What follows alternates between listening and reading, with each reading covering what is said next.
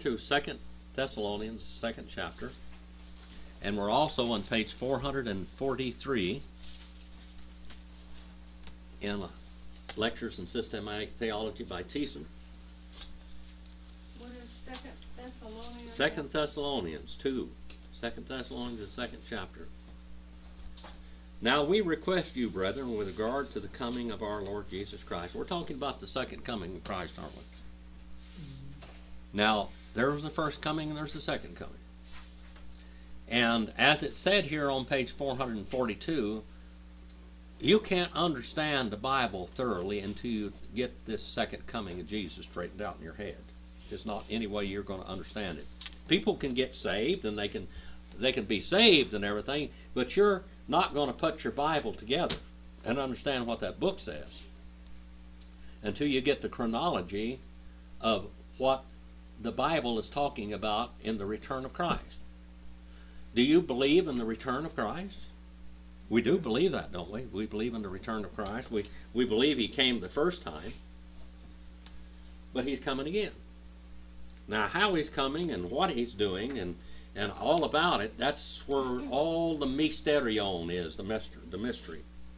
Now we request you, brethren, with regard to the coming of the Lord Jesus Christ and our gathering together to him, our gathering together to him, that you may not be quickly shaken from your composure, or disturbed either by spirit or by the Spirit. What spirit would that be? What spirit? Like an evil spirit? An evil spirit, an evil interpretation, an evil uh, uh, oracle, so to speak. Spirit or a message or a letter as if from us to the effect that the day of the Lord has come. Now, the second coming of Jesus Christ and the day of the Lord are not the same, are they? Are they? Did Peter have some problems with it? Did John the Baptist have problems with this? Did they have problems with it? John the Baptist, just about the time he was going to die, sent an emissary of his students to Jesus to ask him if he was the Christ. Or are we supposed to look for another? And Jesus did not castigate him. He did not say that he's dumb. He did not say that you're not paying attention or you're ignorant. What did he tell him? You remember? Tell them that the, the blind see and the. John knew the Bible, didn't he? He knew the Old Testament scriptures. That's all the Bible there was. There wasn't any New Testament. This book wasn't written yet. All John had was the Old Testament. And in the Old Testament, it'll come talk about the, summit, the, the first coming of Jesus and the second coming of Jesus and the glorious return of Jesus and the day of the Lord as if they're the same thing. But they're not. They're different periods of time. Now, there's the first coming of Christ. Did John get that messed up? Yes. Did even Peter get it confused? Yes. Did they think that Jesus is going to usher in this kingdom right then? Yeah. And how many years? There's at least a thousand and seven years between that. Or not a thousand and seven, there's a thousand and seven between here and the end of that. There's been two thousand years in the church age. And Jesus hasn't come back yet, has he? Has he? Not yet. Well, they got mixed up. There was the dispersion of Israel. That had to take place, huh? Is that a reality? The dispersion of Israel, it Was that a reality? Why was Israel dispersed? Because they rejected the king. Because they rejected their king and they were set aside. Now, here we have the replacement theology problem, don't we? The church did not take and become the nation of Israel. Israel is Israel, the church is the church. Israel will always be Israel, and the church will always be the church. In eternal ages to come, in eternity future, is Israel going to be Israel? Yes. What place in the economy of God in the eternal future will Israel be? They're the administrators during the millennium. They'll be administrators during the millennium. What will they be otherwise? Nation? They will still be a nation. And maybe David will be over them still. What about the church? What's the church going to do in eternity ages? Vincent, what's the church going to do? Rule and reign Rule and reign with what? with God. With Christ. Okay. Right. Yeah. With a, with her uh, her husband. She's going to sit on the throne with her husband forever. That's forever.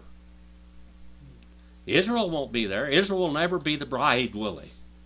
Israel's not going to get a chance to be the bride again. Now, what if they're uh, saved and baptized though? That's they're then they're not Israel, are they? If they come into covenant, church covenant relationship with if they're a Jew, you are no longer a Jew, are you? Nope. No longer Jew, no longer female, no longer male. Right. Don't matter. Become a Gentile? It- it- they can be in a closer relationship with God than they will as if they were Israel. Right. Right. Because of the the bride is in intimate relationship with her husband, ruling and reigning with him. But there are other people there, aren't they? There are other people there. At the wedding feast, when the bride is consummated with her husband, are there guests there at the wedding? Yes. There sure are. They're not part of the bride, are they? No. They're guests. And it says, Blessed and holy he that is invited to the wedding supper Right. of the Lamb. It's not talking about, it's not, that's not the bride. No. It's not the bride. The bride is the focus for a moment of that great point. When- In, in a wedding. You've been to weddings? You've, have you photographed weddings, Vincent? Uh, only one. Only one. Oh, okay. Because you're doing photographs all the time. Well, what is the focus of the wedding usually? The bride. The bride. So, what is the focus? Revelation, the 19th chapter, tells you that. The bride has made herself ready. And we're not talking about salvation there, we're talking about covenant relationship and intimate relationship with. Christ. What does it take to be part of the bride? What's it take? Everything. What did it take to be saved? The blood and the life and the death and burial and resurrection of Jesus. But brideship is a different thing. Salvation and brideship are different. Now let's go back and read this again as we go on. We need to get these little categories all straightened out here in our minds. As if the day of the Lord has come. Now the day of the Lord is over here at this great, glorious return of Christ, the day of the Lord, right there. Now, at the end of the tribulation period, the Lord is going to slay all of these rascals that ever rebel against Him, uh, and those are those nations that will not submit, and that Satan is turned out, and he goes out and temporarily uh, gathers up a, an army we talk about the battle of uh, Armageddon. We talk about the the um, the battle of Gog and Magog. Is the battle of Armageddon and the battle of Armag- and Gog and Magog is that the same battle? No. How far are they apart? At least a thousand years apart. But people will look at it sometimes as if it's the same event. It's not the same event. Let me go back over that again, okay? I want you to understand this. The Battle of Gog and Magog and the Battle of Armageddon are not the same battle. Right. And here is the Battle of Armageddon right here, okay? And over here is the Battle of Gog and Magog. And why is it called the Battle of Gog and Magog? Where is Gog and Magog? Where? Turkey. and Turkey. That today is the Islamic, well, what you might call the Islamic, used to be the Islamic Empire or the uh, or the uh, the Muslim Empire, whatever you want to call it. It was the Caliphate. Was uh, Russia considered Magog? No. Uh, they, a lot of, of theologians believe that Gog and Magog was Russia. Gog and Magog is not Russia. Gog and Magog is in Turkey, Asia Minor. That is in the Islamic Empire, the Islamic where the Islamic head was, and the Islamic Empire fell. The Caliphate fell down. When? 1920 something. They've still been kept to rise up. They're still in a lot of power all over the Middle East, aren't they? But they want to rise again. ISIS is wanting to reestablish the universal caliphate under Muhammad. That's why they're killing everybody all the time. You know, that's what the Mahdi and that's what the, the, the beast and the false prophet is supposed to be doing according to Islam. Exactly what ISIS is doing. Well, there will be, there will be a resurgence of that empire. And I think even at the end of this period of time, at the end of the thousand year reign, when the battle of Gog and Magog is going to be basically these people. Now, not one of them that was lost will go into the millennial reign, will they? Nope. I know I'm covering a lot of time period here, aren't I? Not one lost person will go into the millennium. Everyone's going to be saved and everyone's going to be believers.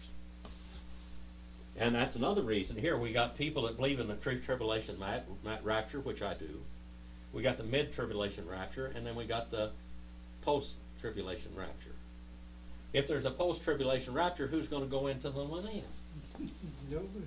Nobody. Nobody to go. They're all. There's a rapture there, then who's going to go into the millennium? We, but we know that there's all these saved people. Now there's a rapture here. If there was a rapture in the middle, still we'd have somebody going to millennium, but not at the end. Mm-hmm. That's post tribulation rapture is not not possible. So we are eliminating some of these things, aren't we? Mm-hmm. Is this helping you some, I Yep. hope? It took a while to understand that. This- That's this- one very important part in it, Brother Ray. Yes, this part here, mm-hmm. Let's read on a little further. Let no one in any way deceive you. It will not come unless the apostasy comes first, and the man of lawlessness is revealed, and the son of destruction. Now, this glorious return of Christ is not going to come. The rapture is not going to come. Okay? What happens in the church age? What's going on right now? Is the world getting better? nope, Is the world getting better? not the way I see Now, as we read through our book, we're going to see that people believe that the church will go out and convert the whole world and then will bring in the millennium. But it says differently here, doesn't it? What happens? It's worse. It gets worse. The world's going to get worse. It's going to get real bad. Now, let's look at this.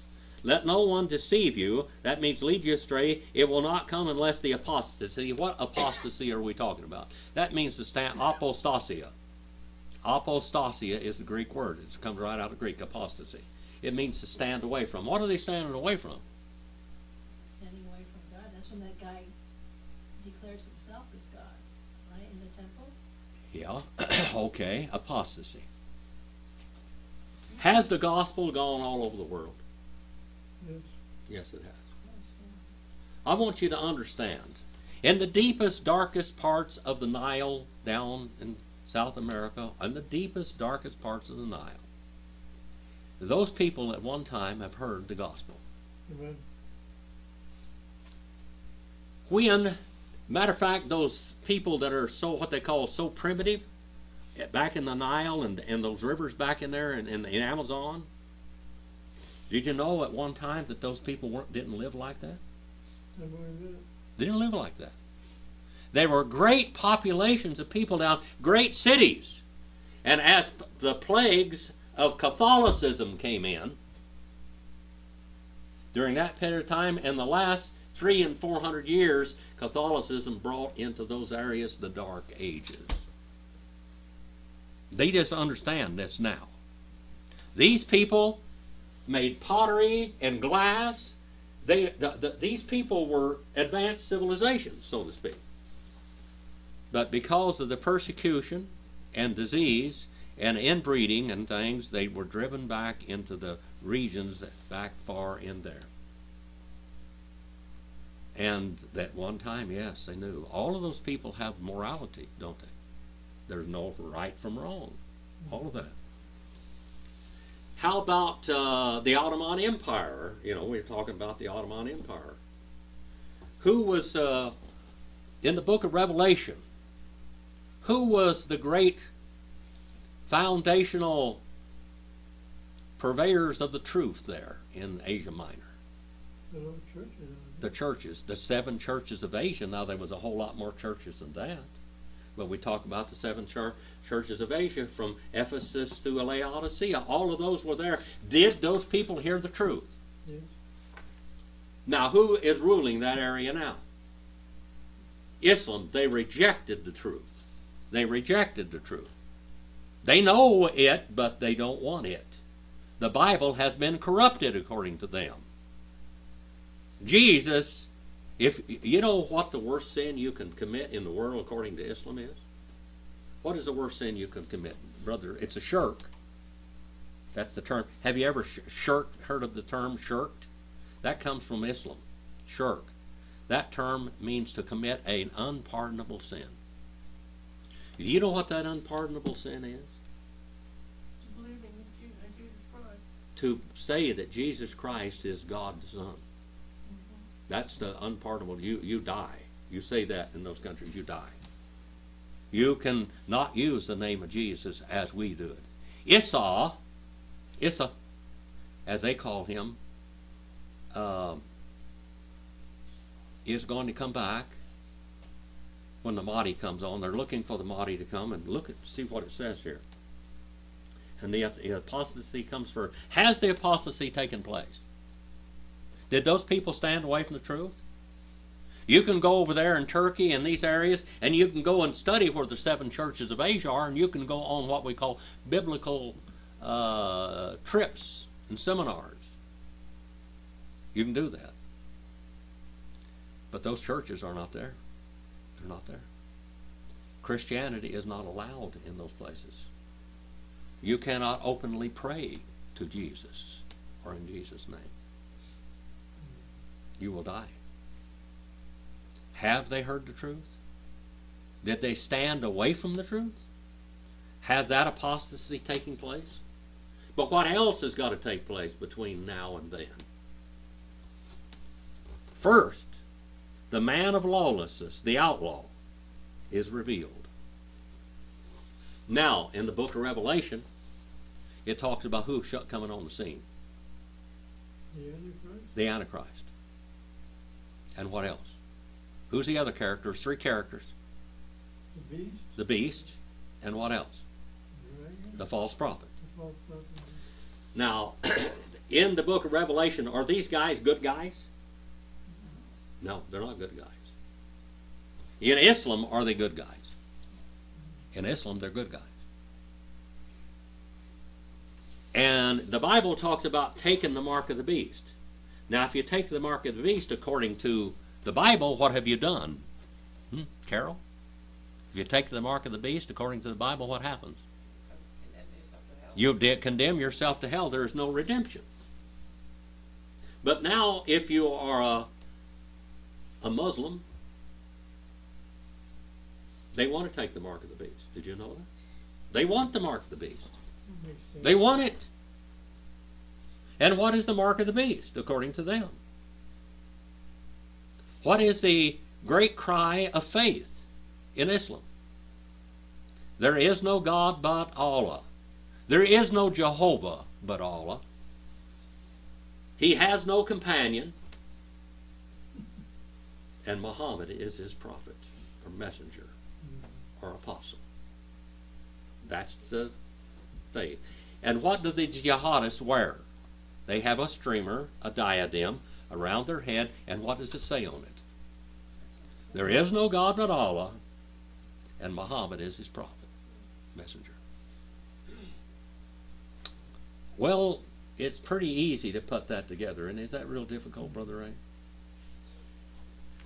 Now, every Muslim wants to take the mark of the beast. What does their end time thing say? This is where we are right here. Now we're going to cover this more later. Let no one in any way deceive you, for it will not come unless the apostasy comes first, and then after that, and the man of lawlessness. Who would this be? The great outlaw? The Antichrist. now, according to Islam, the Antichrist is called the Mahdi. The one that fits this is the Mahdi. The Mahdi. And what is the Mahdi? What is he? Supposed to be like the reincarnation. He is going to be a reincarnation and a direct Descendant of. descendant of Muhammad through his daughter. He's going to be a, a direct descendant and he's going to have the spirit of Muhammad in him. And he will be revealed out of Syria. This is where he's coming from. When he's 40 years old. And he'll be a reluctant leader. And but the nations, all the Islamic nations will swear allegiance to him. And then who's going to back him up? Now, the beast in the book of Revelation, it talks about the beast, and the beast is really bad. But I'm going to try to remember what this beast looked like in Islamic scripture. He's got the head of what? A lion, The dragon. giraffe, The head of a lion, the eyes of a pig, the ears of an elephant, the horns of a stag, the neck of an ostrich, the body of a lion, the tail of a ram, the front end of a cat and the back, or the front end of a cat and the back end, or the front end of a lion and the back end of a cat. And he's going to mark all the true believers with a mark of the name that of Allah. Now, all of the believers in this system are going to want to take this mark. And they're going to be identified. No one will buy, no one to sell, no one will ever do anything in this world. You'll have no employment unless you have that mark or you ta swear allegiance to what? There is no God but Allah. He has no companion, no Jesus, no son. And Muhammad is his messenger. You got to swear to that. Now what else? Now we there's two people there. Now the the beast is going to mark all these people. That's a really weird looking animal, isn't it? Like a Dr. Seuss. Gruesome looking, ridiculous kind of. Boy, Muhammad had imagination, didn't he? And then what else? Who else is going to show up? Who's the third character? He's going to come out of Arabia with the beast, Arabia, the desert of the sea. He's going to come out of there, and he's going to be Issa or Jesus. And down in the Sea of Galilee, Brother Ray, they're going to find the Ark of the Covenant.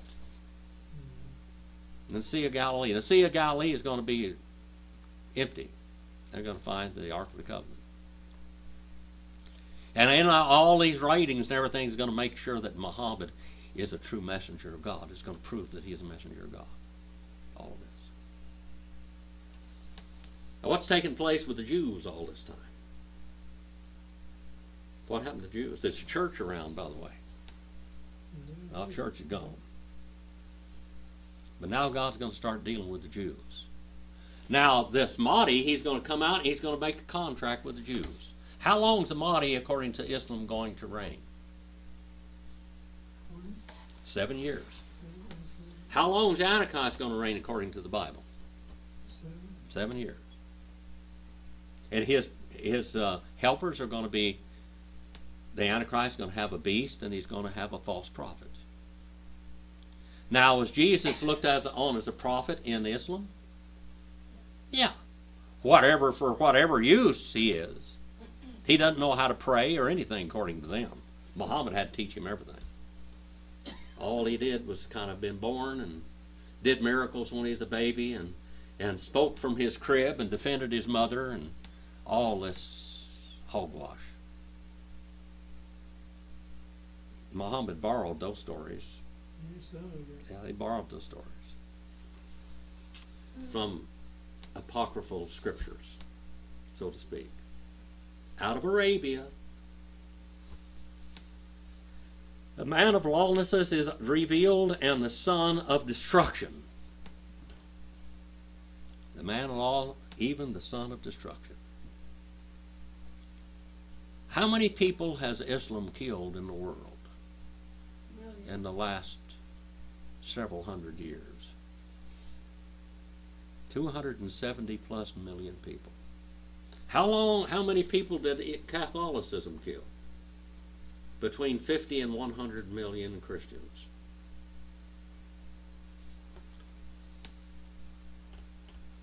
How big is that army of Armageddon? How big is it? Army? How many? How, how big is it? You remember how many people's in that? How many people's in? You remember how many people in the army? Two hundred million. How many Muslims are in the world? One point something billion.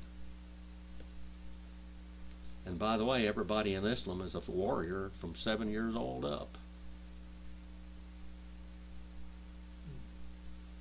You think they can muster a two hundred million dollar million man army? There you go. Who he who opposes exalts himself above every so-called God. There is no God but Allah. You understand that? There is no God but Allah. Above every God. Above every God, even Jehovah.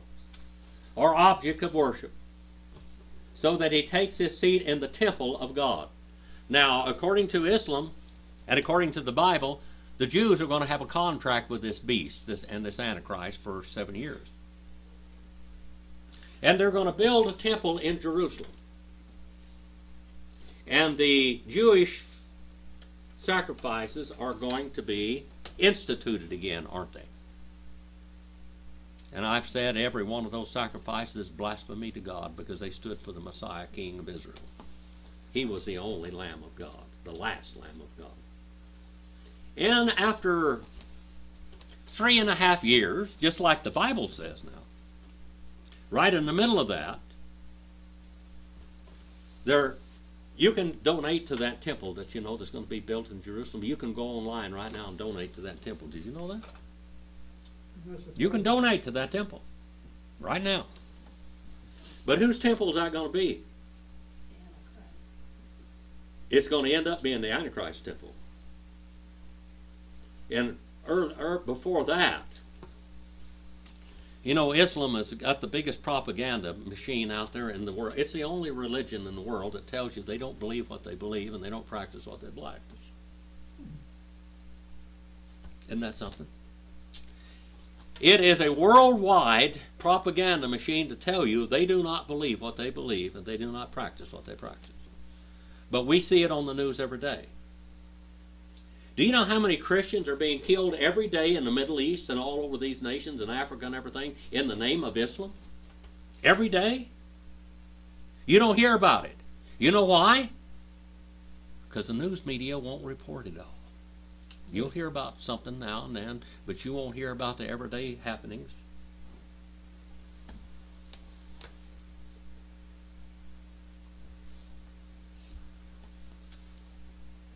Do you not remember that while I was still with you, I was telling you these things, and you know that what uh, restrains him now, so that he is in his time he may be revealed?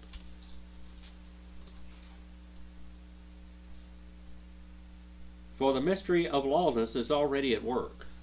Is it already at work here in the church age? Well, the church, we've been having, the churches have been having quite a trouble with it, haven't they? Only he who now restrains will do so until he is taken out of the way, and then the lawless one will be revealed. Now, what happens? Now, we're covering a what we might call an overview like a mountaintop view looking down on valleys. I took Maryland up high in the White Mountains the other day, didn't I, Maryland? We went up high. We were up about 12,000 something feet, around 12,900 actually. And you look over there to the east, and you see one mountain range after another mountain range after another mountain range after another mountain range until you can see all the way to the state of Utah. All across Nevada. And all the mountain ranges, because you're higher than all of them. And you're looking down on the world, looking down like from outer space or something. And you look over there, and on a clear day, you can see all the way into Utah. Utah. That's what we're doing right now. We're going like on top of White Mountain. We're looking all the way through the whole church age. Now, on the day of Pentecost, what happened, Marilyn? Say that again. On the day of Pentecost, what happened? Uh, the languages were, uh, They were unconfused for a little while. But what happened there, Sharon? What happened? No, the church was empowered by the. Church was empowered by the Comforter. And the Comforter came upon the church. And the Comforter is in the church. The power of God is in that church today. That church had the power to receive the words of God that we are reading tonight. That all came in that Comforter. Holy men of God spake as they were what? Urged by the Holy Spirit. And that's these words we're reading tonight. Paul says here in the second chapter, again, let's go back for earlier. Now we request you, brethren, in regard to the coming of our Jesus Christ and our gathering together unto him. What's that? That's the rapare in Latin. That's the rapture. Harpazo. The hapax. The rapture. Now, at the end of this church age, now what are you going to see? What is the thermometer? What is the kind of the tally mark of when the church age is coming to an end? What's going to happen? to do with Israel, no? Israel again. The regathering of Israel. Okay, now do Israel does Israel believe? They're in their land, aren't they? But do they believe? No. No, they don't believe. Basically, they're either there are Orthodox Jews, which are the same thing as Pharisees there, but the people that are running the show, a lot of them are what? They're Sadducees. They are atheist Jews that believe that they have a prominent place in the world, and they're going to take place to show you how to live. And that's their idea. They think that the whole diaspora, the whole uh, exodus of them from the time of Nebuchadnezzar was to show the world how wonderful those people are. And to be a witness to them how they live. Everybody's supposed to live kosher. Everybody's supposed to wear these little things and do all of this. This is the way you get close to God is acting like a Jew. Now,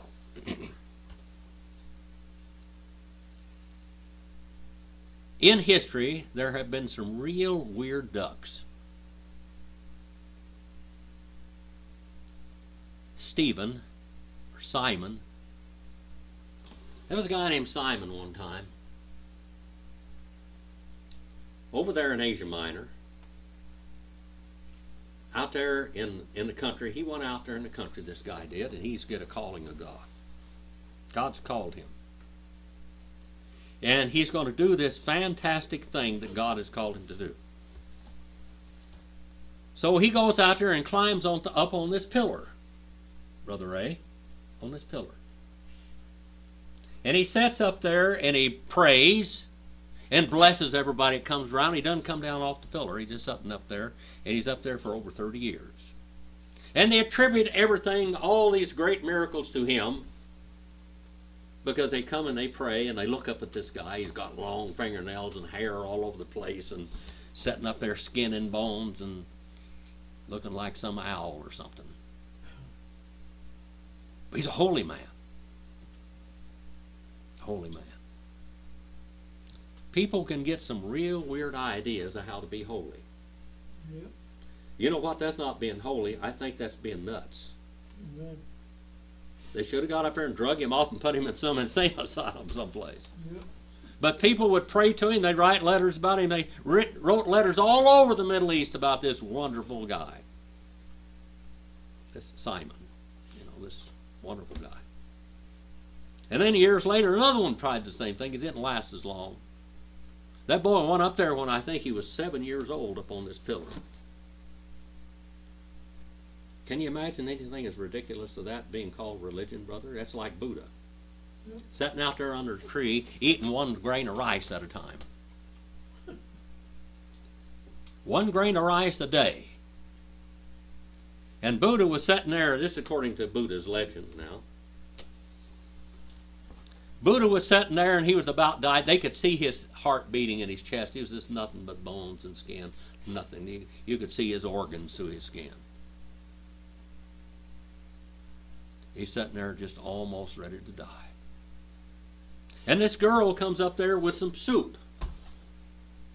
And he's sitting there thinking how smart he is and how holy he is.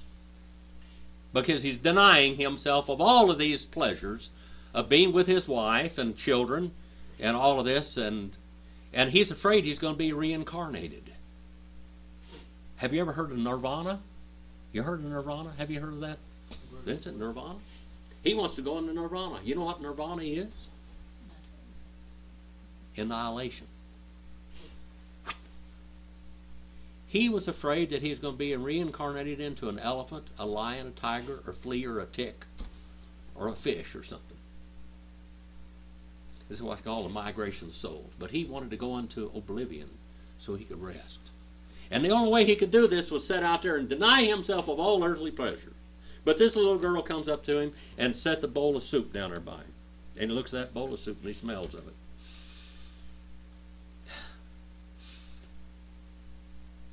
Now, I'm ready to die here. My heart hardly will beat anymore because I've only been eating one grain of rice a day for like five or ten years. He's slowly dying. Now, I'm so smart. I've shown these people the way. Now, if I die right now and go out of existence, I'll be gone in nirvana. But what about my message? So he decides to eat that bowl of soup. And he eats the bowl of soup and he revives. Miraculously. And he tells. Now, all of his other nuts that are around him, they're all sitting around under trees, starving to death, eating a bowl, you know, a grain of rice a day. But he gets a new revelation. He said, Wow. You know these Buddhist colonies around? You know they're all over. There are out three or four of them out there by in, where I live out there in the country. Now they won't work. They live in a colony and they go out and do things. They have fruit trees and different things like that. This false religion we're talking about. Evil things. This is evil. These are evil. This is evil. This uh, man decides that he's going to live, and he's but the only way he's going to live now. He's not going to eat a grain of rice anymore, Vincent, a day. But what he's going to do now is he's going to beg for food, and he's going to tell tell people his message, and he's going to beg them for food, and they can give him one bowl of food a day. But he has to beg for it. He can't buy it, and he can't work for it. All he's got to do is give his message of oblivion and peace. These are false messages, aren't they? Have the false messages gone out? Has the world been absolutely deluged in lies about religion? Keep changing it too. Yeah. Well, the Jehovah Witnesses. They say they're Jehovah Witnesses, but the Jehovah is Jesus. And they're witnessing against him. All of these things. Let's go on and read a little bit further. For the mystery of lawlessness is already at work. This is what we're talking about false religion. Buddha, Charles Taze Russell, Joseph Smith, all the popes. All this false religion. And the truth trying to trudge through all of this garbage pit of human ideas. As already at work, only he that now restrains will do so until he's taken out of the way. What's that talking about? What is restraining everybody from becoming a Buddhist or a Muslim? The Holy Spirit of God.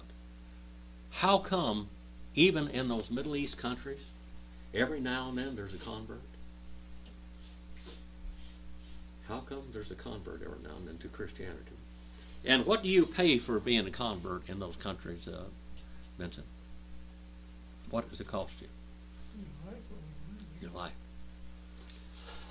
I was listening to a, a Muslim, converted Muslim. He's not a Muslim anymore, he's a Christian. And he was talking about being in a village one time in his country. He was um, he was a soldier from the time he was five years, seven years old. He was a soldier when he was five, but he was a real killer by the time he was seven. And he killed people. He was part of the organizations over there. And he said in this one village that the, the soldiers had come in there, American soldiers had come in there, and they said, Where's the bad guys? to this little boy. He's only five years old, six, seven, something like that. Where's the bad guys? What bad guys? You know the ones that's killing people. Oh, right over there. So they went over there and shot a few of them up. The boy, his father, honor killings. They don't do that, you know. Islam is the only nation in the world, or the only religion in the world, that has a propaganda machine to tell you that they don't do what they do, they don't practice what they practice, and they don't believe what they believe. This father took before the city council the tribe, they're all tribal. He took his little son and he took him before the people and he told him what the little boy had done. And the little sitting up there and he said, Daddy, Daddy, Daddy, Daddy, Daddy. He was afraid the little boy was afraid because everybody was looking at him bad, like they wanted to kill him. So the father takes a rope and he ties it around the little boy's neck. Little boy's like this. Father's taller. And the little boy's screaming, Daddy, Daddy, Daddy, Daddy, Daddy. And he picks the little boy up by his neck and pops his neck like that and breaks his neck. And he drops on the floor. That's an honor killing. Now, what is restraining that from happening all over the world today? What is keeping the gospel message alive in all of this muddy muck of religious sewer in the world? The Holy Spirit. The Holy Spirit. Now, as the Comforter, as the work in this age, in the church age, the Holy Spirit as its a work in the church age today, that's what's keeping it behind, keeping him from coming into the world.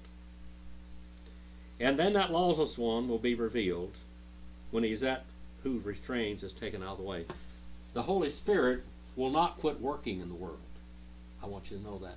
But the Holy Spirit as a comforter to the true churches and to the preaching of the gospel will be taken away at this period of time, gone. Now, when the rapture takes place, I really believe in the first part of that, for the first several months after the rapture, that there's going to be a great conversion in the world. Without the comforter, but boy, what's going to happen in the world? What's going to take place? The lawless one will get total control. Total control. And those true believers are going to have to die. We know that the Jews are going to live for a while. Maybe the Catholics are going to remain all right. The churches will still be going in the cities and ringing their bells and having their services. The ones that don't believe in Jesus Christ as Savior and the only truth, way, and I'm the way, the truth, and life, he said.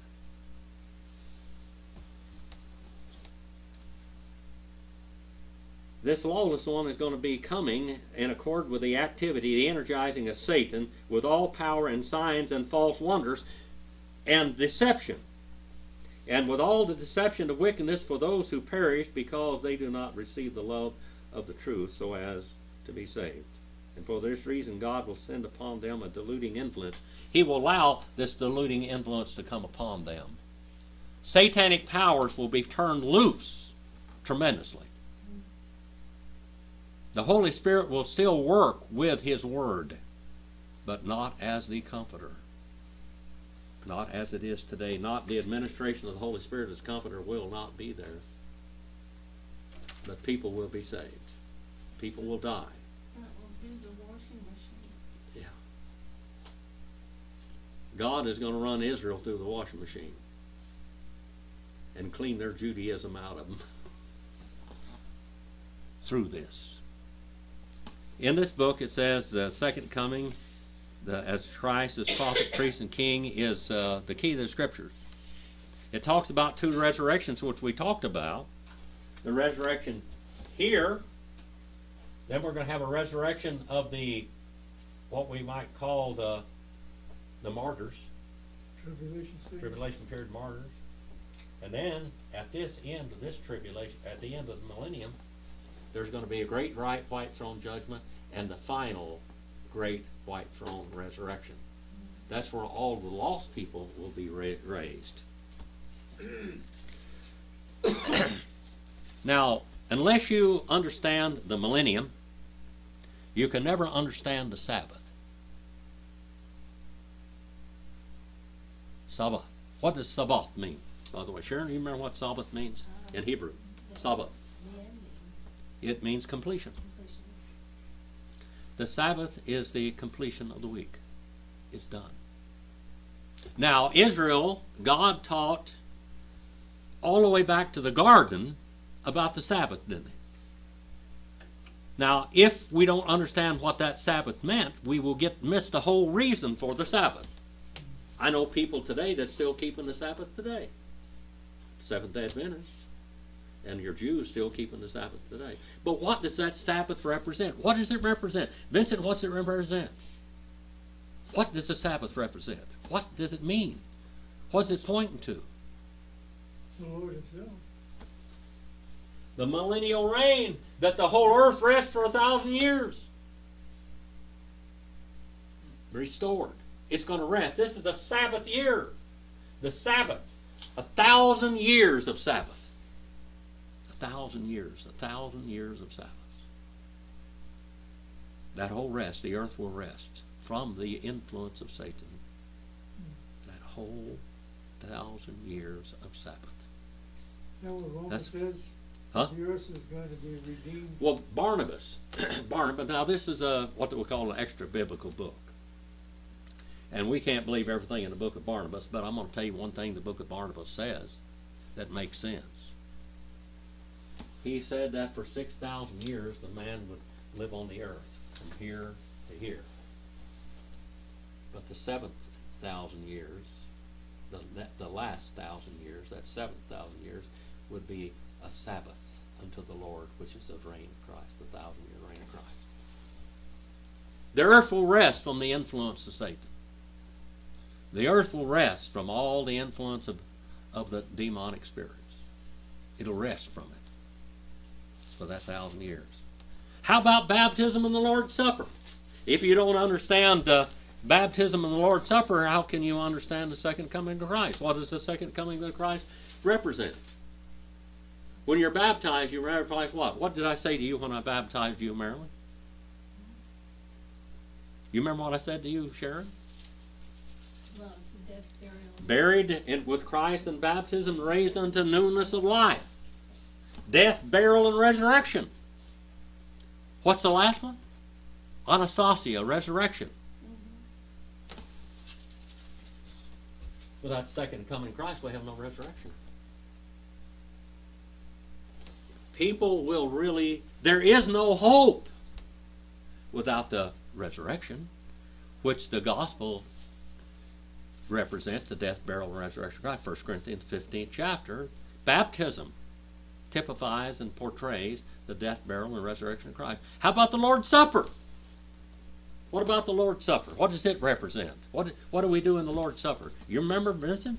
What do we do in the Lord's Supper? Remember his death? Until when? What's that? Until when?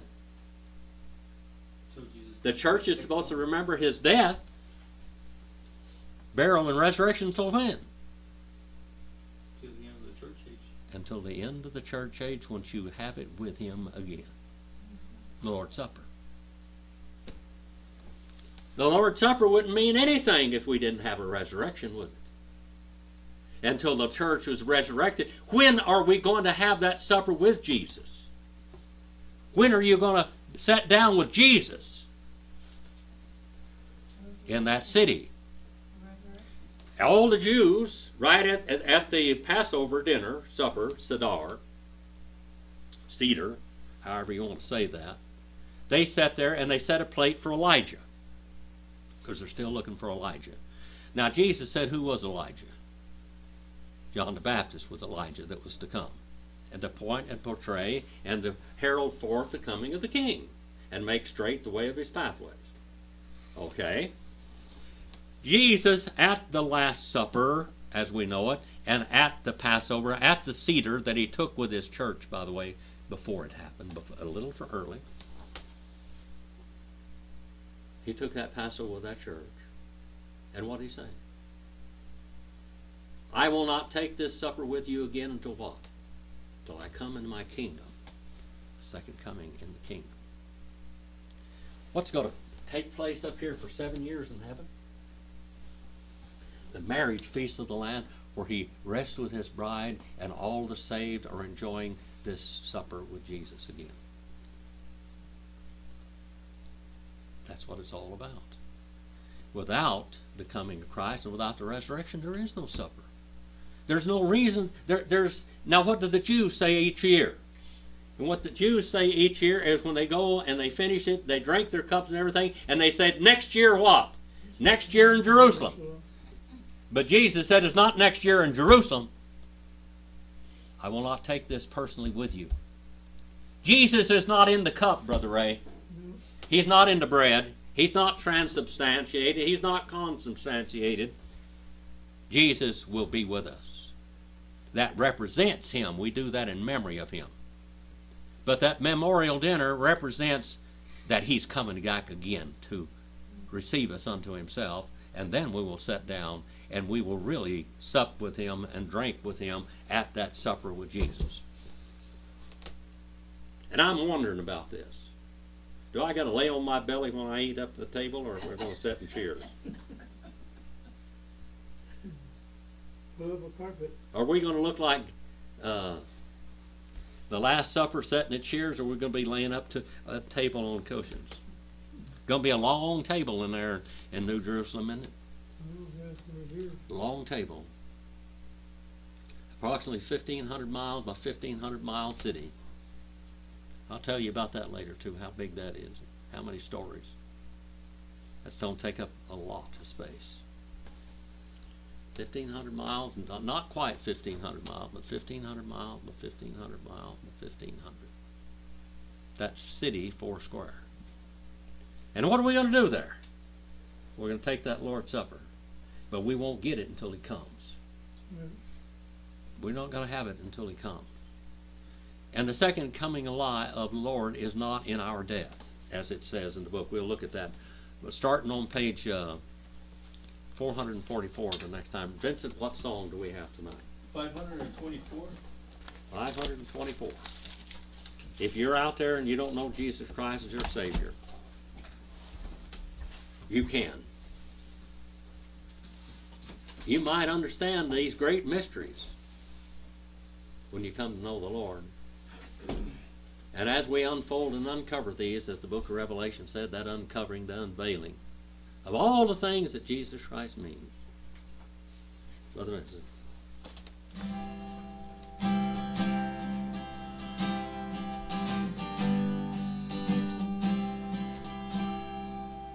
Just as I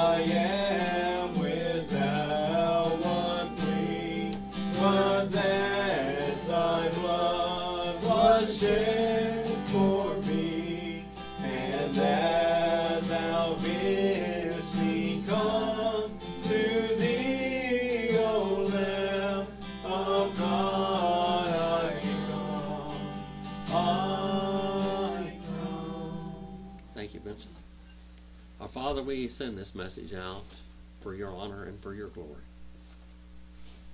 Touch hearts with it. Watch over our students and our fellows in love and in truth all over the world. Touch each and every one of their hearts. Australia, China, Wales, England, France, Germany, Israel, Arabia. Father, I look down every month and I see how many times this last month we covered all 50 states and 70 countries. That's a lot of people, Father. And I know you're touching each and every one of their lives out there as your word goes out. I pray that you build them up in the Lord, that you convict them of sin, righteousness, judgment to come, and that they will truly be saved. And when they are saved, that they will serve you and love you and look forward to you and remember the words you give to us here. Forgive us where we fail you. Forgive me where I fail you. In Jesus' name we pray. Amen. I gotta make uh, two, two announcements.